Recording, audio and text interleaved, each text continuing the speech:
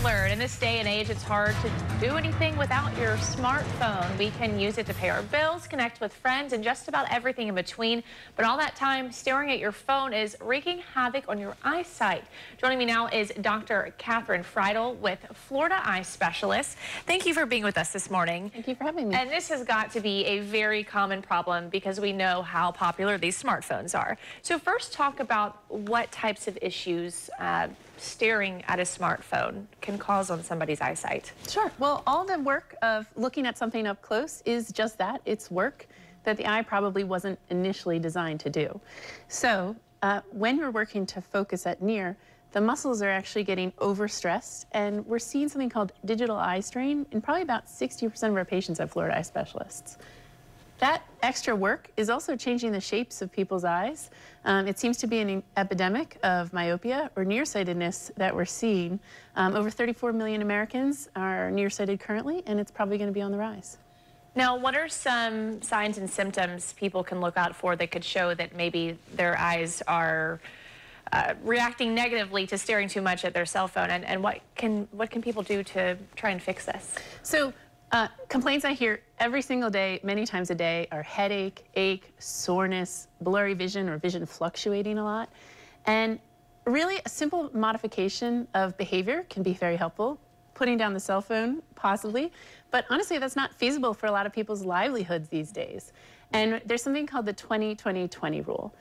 For every 20 minutes that you're spending looking at a screen, looking up into the distance, something like 20 feet away for 20 seconds, will relax the muscles in your eyes that are straining to see so hard.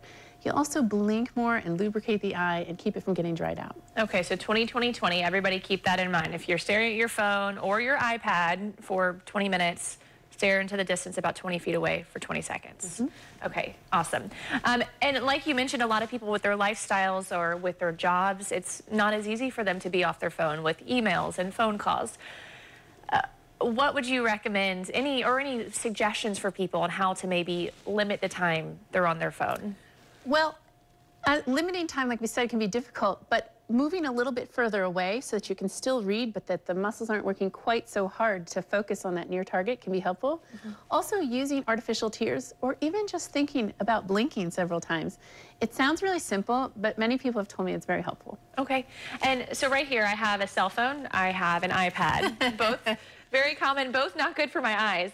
But the bigger the screen, does that probably mean that it's going to be not as bad for your eyes? And so the larger screens and the larger prints are actually more helpful once we get closer to the age of 40 or so, when people are dependent on reading glasses. They're also really helpful for patients who have low vision or vision impairment.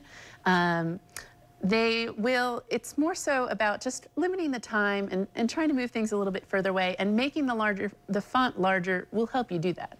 And not only will that be good for your eyes, it'll probably just be good for your overall atmosphere when it comes to life. Get out and get some fresh air and put your phone down. Sunlight has actually been shown to improve, the amount of time a child spends in the sun has actually been shown to improve a child's health. So put the phone down, get outside, enjoy some sunshine, but always wear your sunglasses. Okay, and finally, if people maybe have noticed some problems with their eyes, they think it could be related to staring at their phone too much, uh, what can they do? How can you guys help them out?